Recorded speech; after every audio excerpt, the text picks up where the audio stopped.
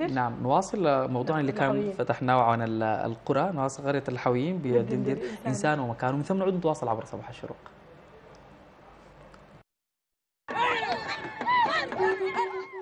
همهمات وصيحات.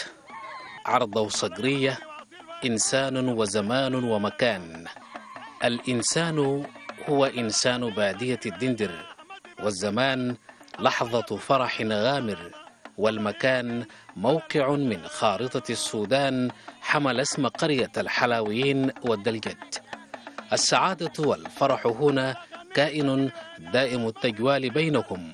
لا يرتبط بزمان أو مناسبة بعينها إلا أنه يكبر ويزداد إيقاعه في مواسم الحصاد والأعياد حيث الزيجات والمناسبات الاجتماعية التي تبرز كل تراث مخفي عن الأنظار.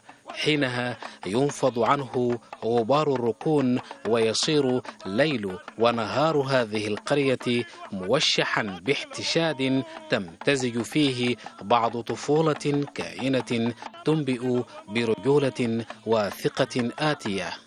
تناثرت الإيقاعات المتباينة في معانيها ومضامينها كما تناثر هؤلاء في تحديق للزمن الآتي.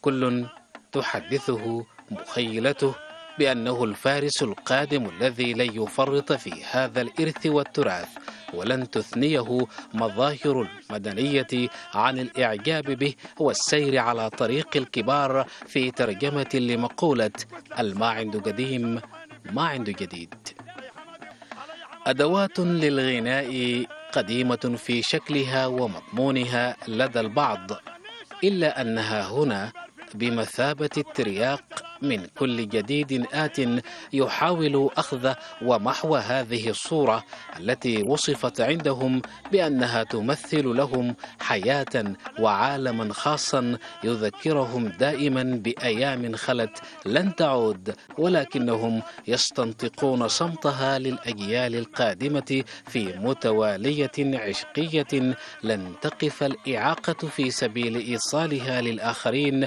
والتعبير عن حب وعشق ووله بتراث تفخر به كل القبيلة عيون تتحدى الملل من وقفة ربما تطول وربما تنتهي بانتهاء هذا الفرح. قرن النفخ عليه يلهب الحماس. زغرودة تجعل عادة البطان متواجدة في هذه الساحة وهي عادة للتعبير عن الفروسية وقوة تحمل المسؤولية في الحياة العامة أو الخاصة. هذا الشيخ الستيني لم يحتمل أن يكون خارج هذا الرونق. عادت إليه روح الشباب وأيام زمان حسب تعبيره. عناق من نوع خاص لهاتين الناقتين في تعبير ربما يحمل دلالة أن زمانا طويلا قد فرق بينهما وها هو ذات الزمان يكتب لقاء في منطقة للإبل فيها مسرا وممرح ومكانة خاصة سامية حميمة. تمثل الإبل فيها الرفيق المؤتمن والخل الوفي والغاية التي تقطع دونها البيداء في صبر وأنات وعزيمة لا تلين في معنى للأمن والأمان.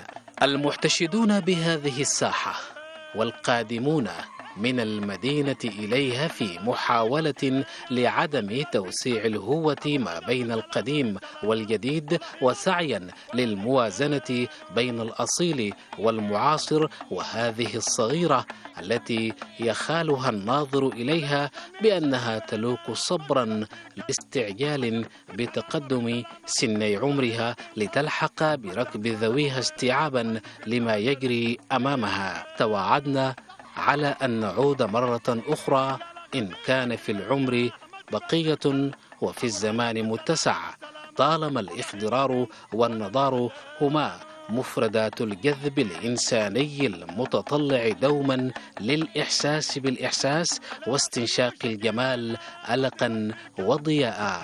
عامر عمر عبد الله الشروق محلية الدندر قرية اللحويين والدلجد